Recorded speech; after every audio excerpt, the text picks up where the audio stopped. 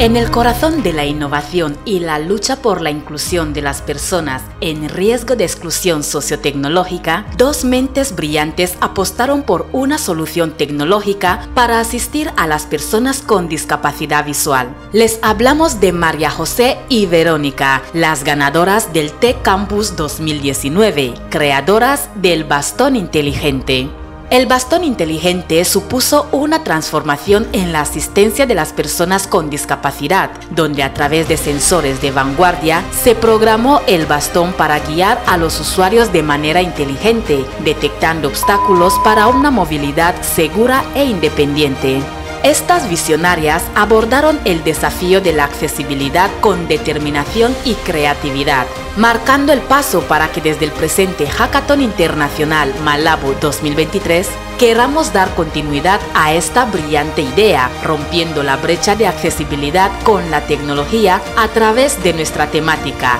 Tecnología asistencial, pensada para todas las personas con alguna discapacidad física. Por todo eso, nos complace presentarles a Carlos Daniel Ondoangue, un joven entusiasta de la tecnología que nos ha sorprendido gratamente por su capacidad de superación y su mente creativa, siempre en beneficio de los que menos incluidos están. Su discapacidad visual ha sido su principal motivación para la generación del cambio, pues se ha visto inmerso en varios proyectos de comunicación aumentativa y alternativa asistida en tecnología